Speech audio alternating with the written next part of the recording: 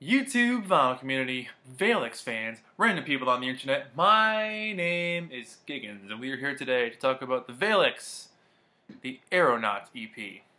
Hey, that's quite a small record you got there, Giggens. I know, it's not a record.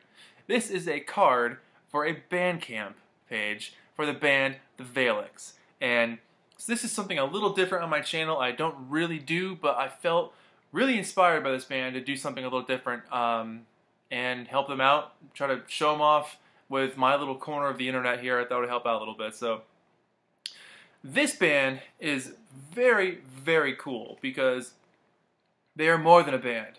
They're a comic book. They're a storyline. It's artwork. It's a concept. It's a theme. Uh, it's it's a visual aesthetic. It's a whole routine and I was very intrigued and inspired and impressed by these guys and the setup that they do. Uh, so much so that I want to make a video and talk about their EP they have out, which is three songs. There's a fourth song on there. It's a remix. Um, so I kind of want to go over this real quick. Um, in a nutshell, I'm going to really briefly read the biography they have on their website to give an idea of where to start with these guys. It's a science fiction story. So it says, on planet Adia, Atla? Atla. Yes, let's go with that. A millennia-old cataclysm has covered the planet in toxic fog. Many of the survivors have taken to the skies, living in tower complexes that reach above the murk and sailing airships for trade and travel. So these people live on these airships, okay? Hang, you got that? All right, cool. Uh, one survivor, an adventurous young girl, holds the key to extraordinary power – putting her in the crosshairs of two ruthless would-be rulers, but to survive, she must first unravel the mysteries of the Cloud Ocean. To do that, she'll need help, she'll need allies, and she'll need a ship. And no ship or crew in the skies has a more colorful, infamous, and checkered past than the Vailix. I mean, I'm in. Sounds cool. That's a, a trip above the high seas and the clouds. Um, and so the songs that they do are part of the storyline. But what's important to know about this group, and what I found most interesting about playing this EP a bunch of times, um, these songs stand on their own. They don't even have to be part of a story. Um, you get the idea, but it's not like you're trying to follow along and like trying to look for the clues. Like they stand alone. They can totally be their own thing. Um, so let's get into this. The first track on this EP is called uh, Perihelion which is I had to look up what that meant.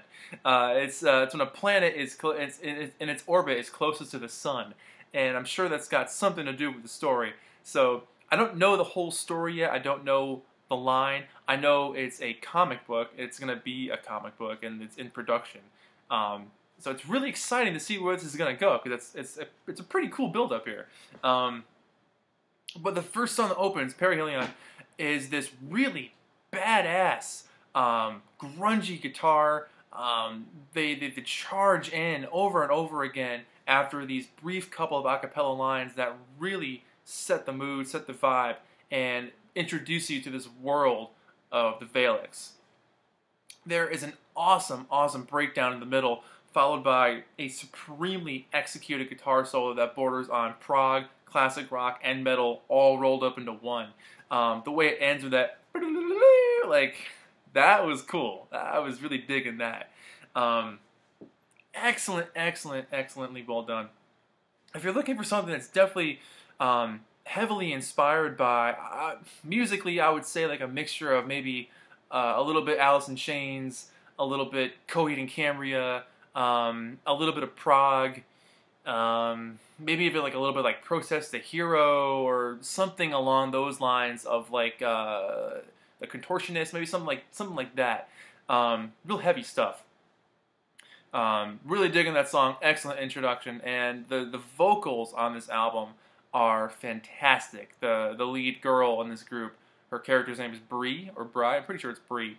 Um, she is an absolutely phenomenal singer who takes complete charge of the song and uh, adds her own spirit and power to already powerful and spirited uh, musicianship. So the combination of her vocals and the music is is a fantastic combination.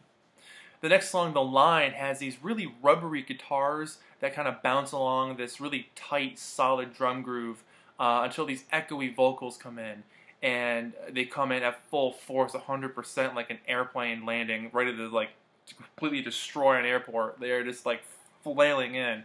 Um, and once that happens, it goes into like 100% rock mode, and there's no turning back. And when she screams, "The line has been drawn," you freaking believe it. Like I'm not sure where in the story that happens, but uh, I want to know what's going on because it sounds intense.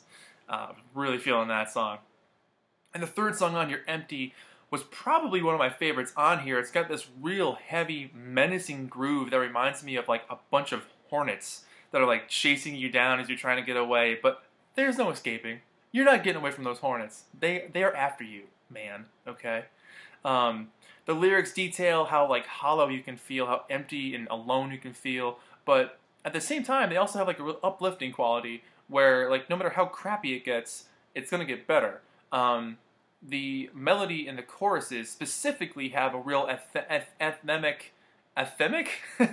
they are anthem-like in their quality, yes, and that spirit I think carries the message of you're gonna get through this. So I'm not sure again where this song happens in the story, but from what I can tell, something deep and heavy is going on, and this character isn't losing hope and trying to figure out how to move forward and do the best they can and figure out the situation at hand.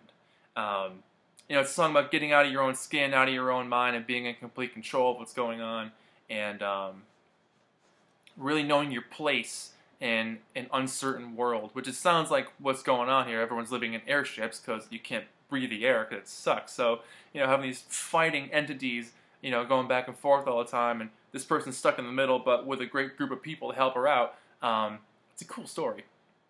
So, what I took away from this EP was a lot of love went into this. I think if you're going to have a concept where you're going to have a comic book, you're going to have art, you're going to have music, you're going to have a stage show with costumes, um, you got to go 100% in and do it right or don't do it at all. And they're doing it right.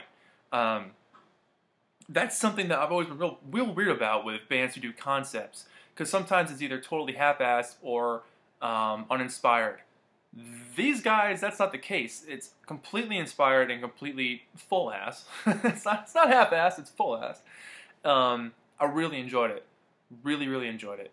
Um, it's nice to hear music that you can tell someone really cares about, um, the whole group cares about, and they're completely involved 100%, and uh, made something very interesting and unique. And to make a special project like this, where it's a whole thing, going on. It's a multimedia experience.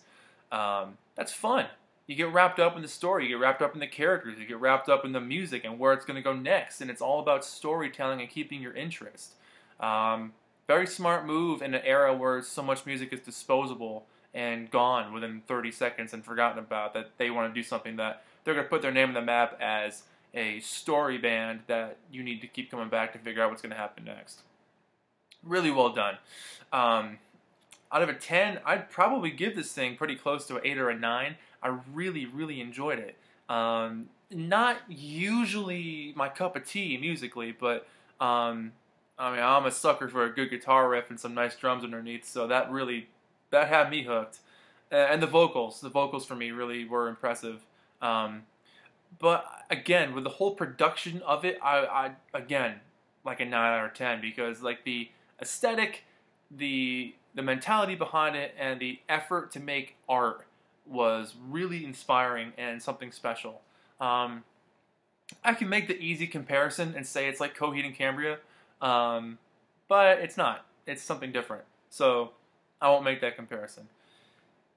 Yeah, so the Vailix. I very highly recommend checking them out. Uh, you can find them at thevailix.com, or I'm sorry, thevailix.bandcamp.com, and um, you can find their album on there, and um, there's more to come. So, you know, it's worth uh, sticking around and seeing what they're going to do next. So, very, very happy to have reviewed that for them, and uh, I wish them all the best. And I think they're going to do really, really well with the music they create because they're doing something unique and fun and special when so much music is just terrible out there now. So, uh, my name is Giggens. This has been Album Reviews with the Vailix. a very cool, complex, and amazing sci-fi story that you should check out.